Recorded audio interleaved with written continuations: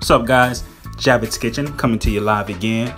In this video I will share with you how to properly break a chicken down, how to clean it, and also how to wash it.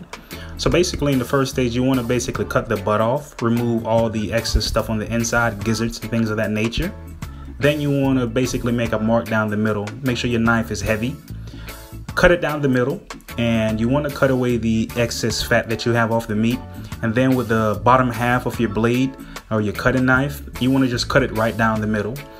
How to separate your breast from your thigh and your leg. There's actually a crease that you need to see. And so in the back part of that as well, you see some blood. But what you're gonna do is cut it between that crease. And that's gonna easily separate the breast from the leg and the thigh. Get your next half. Again, point that crease and separate it. Now, it's very important that you do that because that will help you to actually separate the meat very easily. Now, when it comes to cleaning your meat, so as you guys can see, there's some blood there in the actual crease of the thigh. So what you want to do, you want to remove that. Oftentimes, many places don't actually clean their meat as such.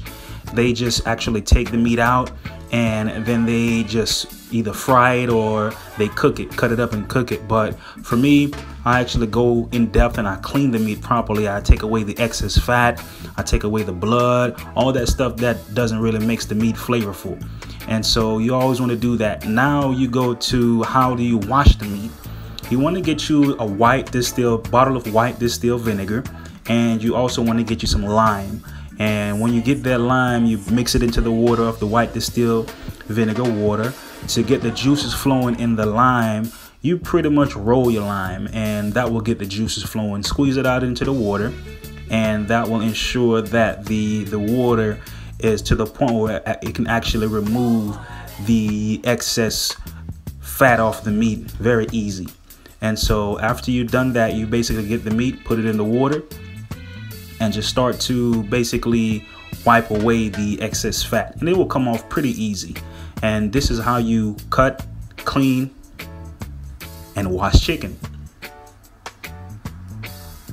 Javed's Kitchen